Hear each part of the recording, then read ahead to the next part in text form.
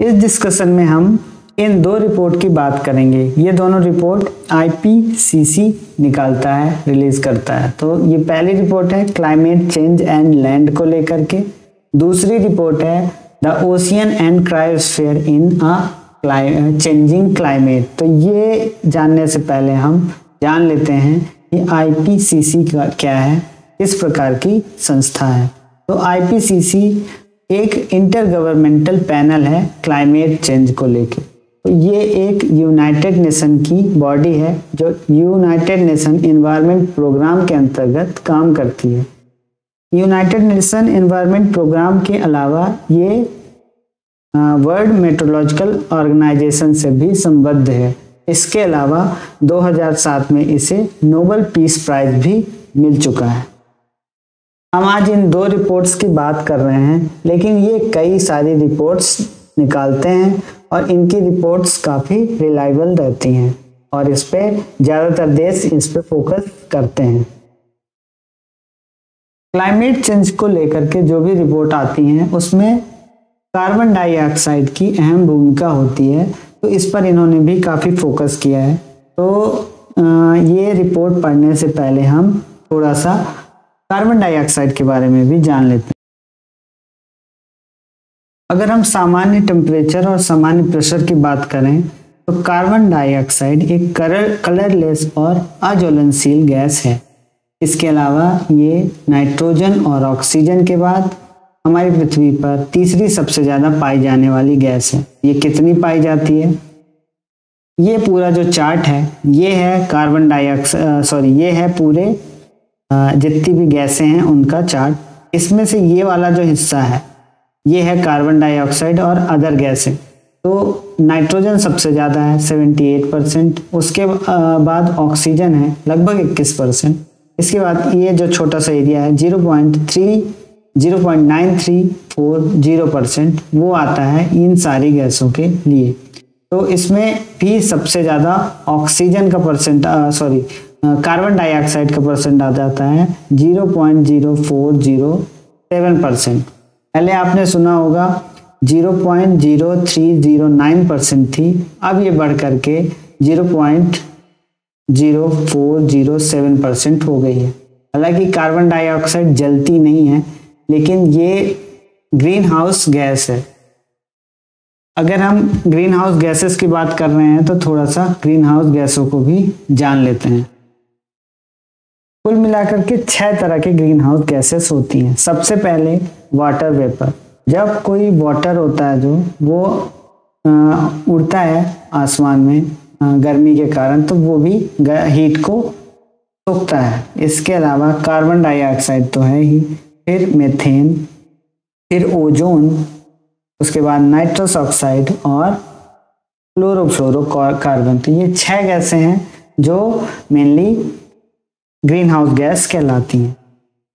तो हमारे पर्यावरण में कार्बन डाइऑक्साइड की मात्रा इतनी कैसे बढ़ गई, इसे समझने के लिए ये एक अच्छा चार्ट है। तो कार्बन डाइऑक्साइड 1750 के दशक में लगभग 280 पार्ट होते थे एक मिलियन ईयर के पार्ट में। मतलब एक मिलियन अगर आप ईयर लेते हैं, पार्ट ऑफ़ ईयर लेते हैं तो उसमें 260 कण होते थे, कार्बन डाई 280 कण होते थे लगभग। कार्बन डाइऑक्साइड के। लेकिन आज की डेट पर 420 तक 420 तो अभी नहीं पहुँचा है, लगभग 406 या 7 पार्ट होंगे एक मिलियन वायु के कणों में। ये सबसे तेज़ी से जो बढ़ा कार्बन डाइऑक्साइड का एमिशन हमारे पर्यावरण में, वो था इंडस्ट्रियलाइजेशन के समय से। देखिए, ये जब 1900 का समय था, यहाँ पर ये वाला डेटा यहाँ से ये बहुत तेज़ी से बढ़ना शुरू हुआ। ये नॉर्मल ये नॉर्मल डेटा है जो नॉर्मल कार्बन डाइऑक्साइड बढ़ती है। ये वाला है जो एमिट किया गया है। इतनी तेज़ी से एमिट किया गया है और ये नॉर्मल डेटा है जो इस तरह से पहले चल रहा था। पहले एमिशन बिल्कुल नहीं होता था तो ये बताया गया है कि कोई एमिशन नहीं। फिर धीरे धीरे धीरे धीरे फैक्ट्री वगैरह लगनी शुरू हुई और फिर हम इतनी तेज़ी से एमिशन करने लगे। तो आज की डेट पे यहाँ तक हम पहुँच चुके हैं। ये वाला एक और चार्ट है अच्छे से समझाने के लिए। ये एक और रिपोर्ट है, जिसमें बताया गया है कि हर साल किस प्रकार से कार्बन डाइऑक्साइड की मात्रा पर ईयर एटमॉस्फेयर में बढ़ रही है। ये सिर्फ़ तीन साल के आंकड़े हैं और इसमें आपको अंतर दिखाई देगा। 2017 में 403 पार्ट थे पर मिलियन 2018 में 405 पार्ट हो गए और 2019 में 408 पार्ट हो गए। तो इस तरह से बढ़ रहा है कार्बन डाइऑक्साइड की मात्रा हमारे एटमॉस्फेयर में। एक महीने का ये रिपोर्ट है जिसमें बताया गया है कि किस तरह से गर्मी में टेम्परेचर में अंतर देखने को मिल रहा है। अप्रैल महीना 2016 का, जिसमें बहुत ज़्यादा गर्मी थी और इसमें अंतर देखने को मिला प्लस 1.12 डिग्री सेल्सियस मतलब अगर कहीं का 30 डिग्री टेम्परेचर होता था तो वो लगभग इकतीस इकतीस दशमलव एक दो डिग्री सेल्सियस हो गया। इसी प्रकार से 21 जो है 2021 में अप्रैल मंथ में नाइन्थ सबसे गर्म ईयर रहा सदी में। इसके पहले, जो सबसे ठंडा ईयर था, जिसमें थोड़ा सा गिरावट आई थी टेम्परेचर में, वो था 2000 1909 का साल। अगर पेरिस क्लाइमेट एग्रीमेंट की बात करें तो इसका लक्ष्य था, जो कि 2015 में बनाया गया था, कि ग्लोबल टेम्परेचर को 1.5 डिग्री सेल्सियस से ज़्यादा नहीं जाने देना है। लेकिन जिस प्रकार से कार्बन डाइऑक्साइड वातावरण में फैल रही है, बढ़ रही है, आराम से ये दो परसेंट चला जाएगा। हालाँकि 1950 तक का लक्ष्य है कि दो डिग्री से ज़्यादा टेम्परेचर को कार्बन डाइऑक्साइड की मात्रा को 400 400 तीन चार पार्ट पर मिलियन से ज़्यादा नहीं जाने देना है और टेम्परेचर ग्लोबल टेम्परेचर को दो डिग्री सेल्सियस से ज़्यादा नहीं जाने देना क्योंकि अगर टेम्परेचर दो डिग्री सेल्सियस से ज़्यादा गया तो फिर उसे वापस नहीं लाया जा सके। लैंड से रिलेटेड जो इन्होंने रिपोर्ट प्रस्तुत की है उसमें इन्होंने बताया है कि फॉरेस्ट, कृषि और शहरीकरण जैसे विभिन्न भू उपयोग जलवायु परिवर्तन को किस प्रकार से प्रभावित कर रहे हैं और जलवायु परिवर्तन इन्हें कैसे प्रभावित कर रहा है। तो अगर कार्बन डाइऑक्साइड की बात करें तो कार्बन डाइऑक्साइड का जो कंसंट्रेशन है, अगर वायुमंडल में ज़्यादा बढ़ जाता है तो जो मेजर फ़ूड क्रॉप्स हैं, उनकी गुणवत्ता में भारी कमी आएगी। ग्रीन हाउस गैसों का एमिशन सिर्फ़ और सिर्फ़ कृषि से ही 21 से लेकर सैंतीस परसेंट तक होता है। निसंदेह जिस प्रकार से कार्बन डाइऑक्साइड और ग्रीन हाउस गैसें एटमॉस्फेयर में बढ़ रही हैं। इसे रोकने के लिए कुछ कड़े कदम उठाए जाने आवश्यक हैं। कुछ कदम हो सकते हैं, उसमें से एक है कार्बन डाइऑक्साइड का संग्रहण करना। तो इसे या तो लेक वगैरह में संग्रहित किया जा सकता है, या समुद्र में, या तो फिर ग्रीनरी लगा करके भी इसका संग्रहण किया जा सकता है। तो कुछ ऐसे तरीके हैं जिससे कुछ हद तक कार्बन डाइऑक्साइड की मात्रा को कम किया जा सकता है, उसे रोका जा सकता है। ये भी आज की डेट पे जिस तरह से कार्बन डाइऑक्साइड बढ़ रहा है ग्रीन हाउस गैसेस बढ़ रही हैं और टेम्परेचर बढ़ रहा है क्लाइमेट चेंज हो रहा है, उसके लिए कोई भी इस प्रकार का अभी जो भी स्टेप लिए जा रहे हैं, वो कहीं भी किसी भी हालत में कम है, लेकिन फिर भी कुछ हद तक हैं। इसके बाद आज के लिए हमारी दूसरी रिपोर्ट जो है इनकी, वो है ocean and cryosphere in changing climate तो क्रायोस्फेयर क्या होता है? बर्फ़ की जो चादर होती है, उसे क्रायोस्फेयर बोलते हैं। तो अगर हम अभी की बात करें या इस रिपोर्ट की बात करें तो 2021 में 2007 के साथ सबसे कम सातवें नंबर पे सबसे कम बर्फ़ अभी अटलांटिक में है। इसके अलावा 2015 2006 से लेकर 2015 तक में हर साल अगर एवरेज लिया जाए तो 278 million ton every year glacier loss हो जाती है, नष्ट हो जाती है।